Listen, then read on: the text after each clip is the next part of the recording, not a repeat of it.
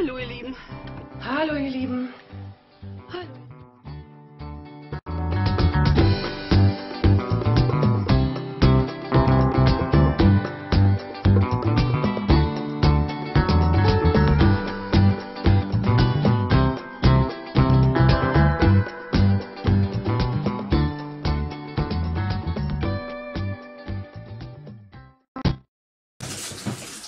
Hallöchen, ihr Lieben. Es ist Donnerstagnachmittag.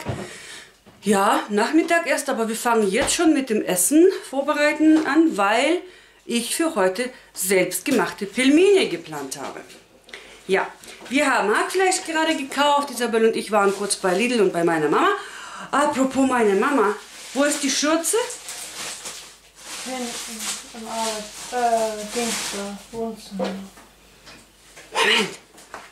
Meine Mama hat mir fürs Erste jetzt, äh, ich sag mal, meine erste Schürze genäht mit einem bestimmten Namen drauf. Und das wollte ich euch zeigen. Es wird auf jeden Fall noch eine jetzt, äh, ist in Arbeit, noch nicht bei meiner Mama, weil eine ganz, ganz bestimmte Person, eine ganz süße kleine Person, gerade doch da noch dabei ist, ähm, die, äh, die Muster für die Schürze zu entwickeln, äh, zu zeichnen. Aber ich zeige euch jetzt erstmal die, die meine Mama mir jetzt gemacht hat. Die finde ich voll süß. Kannst du auch fliegen, wenn du ein Vieh bist? Das ist meine neue Schürze. Hier steht Suppenfee. Den Namen hat mir ein ganz, ganz besonderer Fan gegeben. Ja, und wie man sieht, hier ein Teller mit Suppe, ein Suppentopf, das ist eine Tasche. Und hier ein, ja, Kuchen, Muffin. Ne, weil ich ja nicht nur Suppen kochen kann, ich backe auch und mache alles Mögliche. Aber vor allem hier, das hat meine Schwester dann halt ähm, gezeichnet, alles mehr oder weniger. Und meine Mama hat es dann gesteckt. Und hier aber halt als Applikationen aus anderen Stoffen drauf gemacht. Ich finde die ganz süß. Und sie ist aus einem Stoff, den man abwaschen kann. Ne, also das ist jetzt meine, ja ich sag mal, ich brauche mehr als nur eine Schürze, deswegen, das ist jetzt eine Schürze und irgendwann mal, wenn es soweit ist und die zweite fertig ist, zeige ich die euch natürlich auch. Ja, mir gefällt es auf jeden Fall. Äh, der Name Suppenfee, den hat mir ein Junge gegeben, der heißt Elias, ein Süßer weil ich eben ganz viele Suppen koche. Ne? Und irgendwann mal hat sein, sein Vater hat mich zuerst abonniert und dann hat er was geguckt und dann meinte er, was machst du da? Wen guckst du denn da? Und dann meinte äh, Nils erstmal, ja, ähm, die Frau, die in den Suppentöpfen schwimmt. Ich sag, das ist aber ein langer Name für mich. Ja, und der Junge, der hat mich dann Suppenfee genannt. Und jetzt begrüßt er mich, wir schreiben uns ganz oft, also täglich mehrmals über Instagram und dann heißt es immer, na Suppenvieh, wie geht's dir und so. Und deswegen mein Name jetzt, Suppenvieh. So, und die Suppenvieh hört jetzt auf zu quasseln und zeigt euch, wie wir den Nudelteig machen. Für die Pelmeni, das ist nichts anderes als Nudelteigtaschen, gefüllt mit Hackfleisch. Masse, ne? Und äh, ich mache den Teig und lasse ihn kurz stehen, während wir dann uns um die Füllung kümmern. Aber ja, los geht's. Wir brauchen den Knethaken. Dann brauchen wir Wasser. Wie viel habe ich denn jetzt? Das sind bestimmt so 600 Milliliter Wasser. Weil ich ein bisschen mehr Nudelteig machen möchte heute. Und eventuell und eventuell was einfrieren von den Pelmeni, wenn was übrig bleibt. Dann brauchen wir auf jeden Fall Salz nicht zu wenig, weil das ja salziger Teig sein soll. Also ich denke, so eineinhalb, zwei Teelöffel habe ich jetzt auf jeden Fall drin. Ne? Und Eier.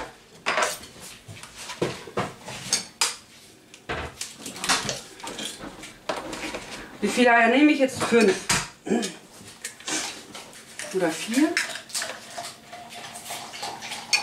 Ich habe jetzt gerade ein Rezept gesehen, da waren sogar sieben oder acht Eier drin. Ne? Ich nehme mal tatsächlich fünf. Und dann gucken wir, wie der Teig diesmal wird. Ich habe schon sehr lange keinen mehr gemacht. Deswegen bitte ich ein bisschen um Nachsicht. Ja, und als erstes verrühren wir die ganzen äh, nassen, flüssigen Zutaten mit einem Schneebesen. Geht einfacher. Irgendwas sitzt nicht richtig an die Schüssel. So, jetzt. Ja, das ist bei dieser Maschine. Wenn was nicht richtig drin eingerastet ist, funktioniert sie nicht. Ja, und jetzt packen wir erstmal auch mit dem Schneebesen halt Mehl ein bisschen rein. Ich weiß nicht, wie viel genau wir brauchen, aber auf jeden Fall mindestens ein Kilo werden wir brauchen. Weil das ja ein guter Nudelteig werden muss, den man ausrollen kann. Ne? Ja. So, und jetzt wechseln wir einfach mal hier aus. Und ja, wie ich schon sagte, mindestens eine Packung Mehl, ein Kilo brauchen wir auf jeden Fall. Wir brauchen auch nachher noch Mehl zum Ausrollen und deswegen, ja, habe ich gleich hier zwei Pakete hingestellt. Ja, und jetzt kneten wir das Ganze einfach mal zusammen. Müssen wir den Rest einfach mal per Hand kneten, weil man dann einfach besseres Gefühl hat für den Teig. Deswegen gehen wir auf die andere Seite jetzt. Der Teig ist natürlich noch lange nicht fertig, der ist noch ziemlich klebrig. Und jetzt knete ich den einfach mal hier auf den Tisch ein bisschen. Also wie gesagt, es ist ein Nudelteig, der soll nachher gut auszurollen sein. Und deswegen kneten wir den jetzt das mal, damit er nicht zu klebrig ist, aber auch nicht zu fest. Ne? Wenn er zu fest ist, dann ist er dann wie Gummi. Ist auch nicht gut. Und das ist jetzt unser schöner Teig. Den lasse ich hier ein bisschen noch ruhen. Und ja, wir sehen uns gleich wieder, wenn es an die Füllung geht. So, ihr Lieben, wie ihr sehen könnt, ähm, mach mal Licht an, bin ich hier jetzt an meinem Fleischwolf. Und ähm, ich habe jetzt hier fünf Zwiebeln und irgendwo da unten befinden sich ein paar zehn Knoblauch. Das ist auch alles, was wir jetzt noch neben Hackfleisch brauchen für die Pilmeni. Und jetzt lasse ich das Ganze hier mal einfach durch den Fleischwolf durch.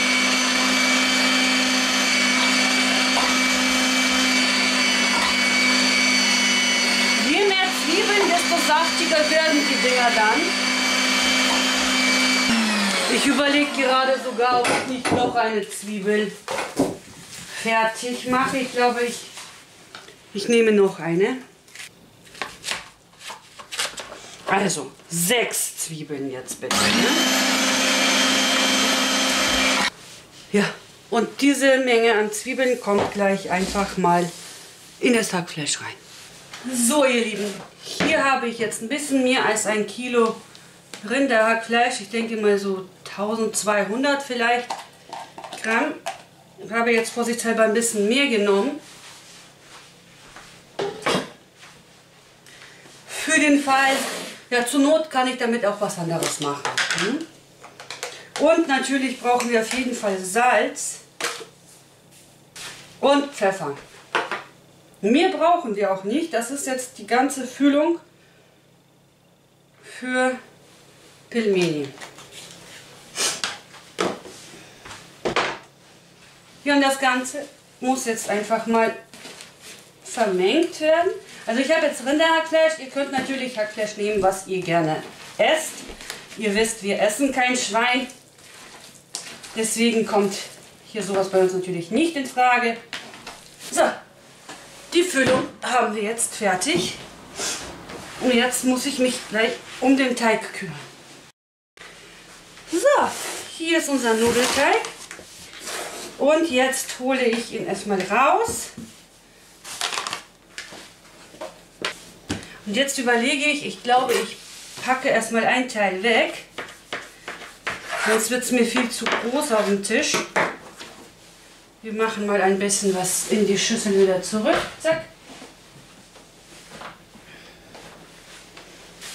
Genau. Und jetzt heißt es ausrollen. Immer darauf achten, dass es nicht klebt, logischerweise, weder am Tisch noch an der Rolle. Das heißt, vor allem am Tisch ist es ein bisschen doof, wenn es klebt.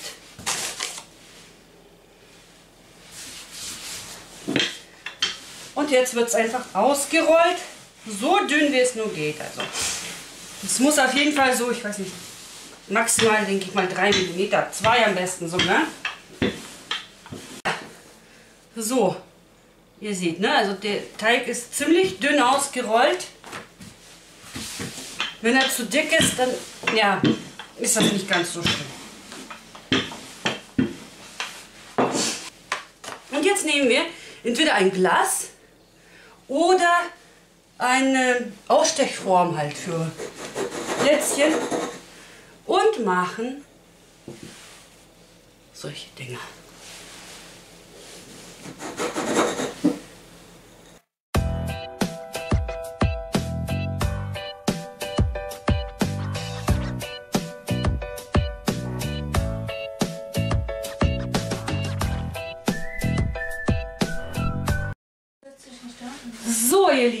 Jetzt werde ich hier zeigen, Isabel, sonst setzt du die dahin am besten oder in die Mitte von dem Tisch, ist egal. Ich habe jetzt hier drei Haufen ähm, schon mal ausgedrückte Teigteile und ich zeige einfach mal, wie es geht. Ne? Also äh, einmal, Moment, näher ran, denke ich mal. Genau, so könnt ihr das besser sehen, auch wenn ihr mich dann nicht sehen könnt. Wir brauchen ein Teig und dann Hackfleischfüllung und dann einfach in der Mitte zusammenklappen. Einmal gut, richtig gut den Rand andrücken und dann diesen Halbmond nochmal an den Enden, zack, zusammenkleben. Und so sehen die aus. Ich zeige es nochmal. Ihr könnt mitmachen, genau, damit ich sehen kann, ob ihr das richtig macht. Einmal nicht zu viel Fleisch, das muss gut reinpassen. Ja, in die Mitte gut reinmachen. Dann zusammenklappen. Gut andrücken. Und die Enden nehmen, ne, diese Öhrchen hier, und zusammen unten kleben. Und so sieht ein Pilmeni aus. Und dann nicht zu nah aneinander bitte auf dem Brett hinlegen, sonst Äh. kleben die aneinander. Ich gucke gleich, was du da treibst. Er sieht so aus. Ja, ungefähr so, aber du musst ein bisschen besser Zu machen. zumachen. Genau. Die müssen nicht schön sein, die müssen am Ende schmecken. Ja. Und jetzt geht die Familienbastelstunde los. Stunde? Ja, schön sieht anders aus. Naja, besser ist der erste auf jeden Fall schon mal. Ich habe ein bisschen weniger Fleisch genommen. Sehr gut andrücken die Ränder, damit äh, das nachher beim Kochen nicht rausfällt. Sonst haben wir wieder angedrückt. einen Lappen Teig im, im Darf ich noch eine Kugel machen? Schmecke, äh, schwimmen und dann Es äh, muss eine Kugel geben. Ich mach die Kugel. ein, ein Stückchen Fleisch getrennt schwimmen. Das ist doof.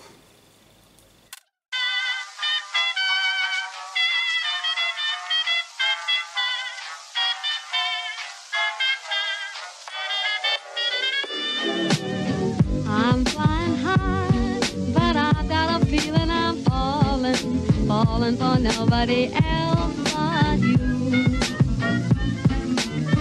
You caught my Tada! Isabel hat gerade gezählt, es sind 169 Stück. Ja, mal so zum Vergleich. Ist klar, die Kinder machen das zum ersten Mal. Ich habe es schon ein paar Mal gemacht. Das sind jetzt meine. Und diese sind zum Beispiel von Raphael. Sehen gar nicht so schlecht aus. Hauptsache, sie schmecken. Isabel hat auch mal gemacht. Ich habe jetzt hier schon mal das äh, Wasser gesalzen und aufgestellt. Die werden wie Nudeln ganz normal in Salzwasser gekocht. Und hier mache ich jetzt die Soße. Ach ja, ein bisschen Hackfleisch ist übrig geblieben. Ich habe jetzt schon ein Ei reingeschlagen. Daraus mache ich gleich einfach mal ein paar Frikadellen. Ja, und in die Soße kommt eigentlich nur Butter, Schmand, Salz und Pfeffer. Mehr nicht.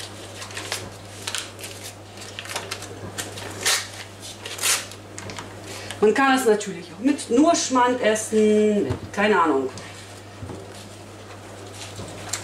Manche essen mit Brühe. Die Butter muss erstmal geschmolzen werden und dann kommt der Schmand rein. Ich mache meistens einfach gleich ähm, Schmand rein, weil die Butter sonst immer so blubbert.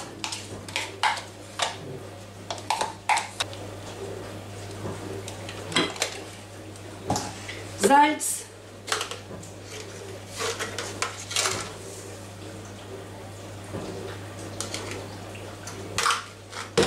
Und Pfeffer.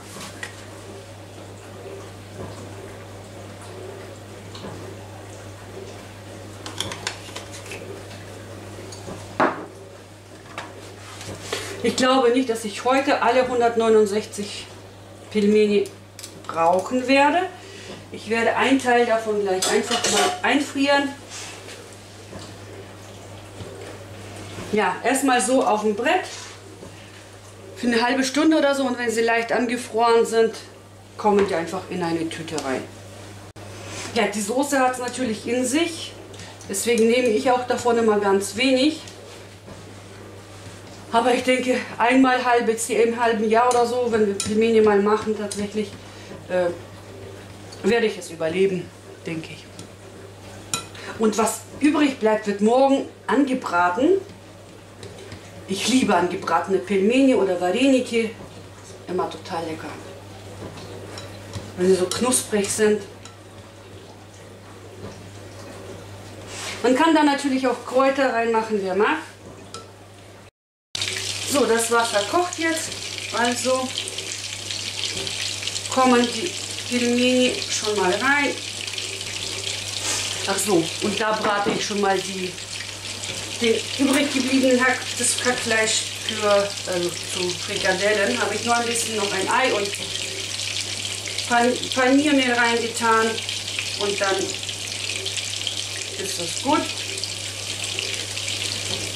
Ja, und wie gesagt, zwischendurch immer wieder mal vom Boden vorsichtig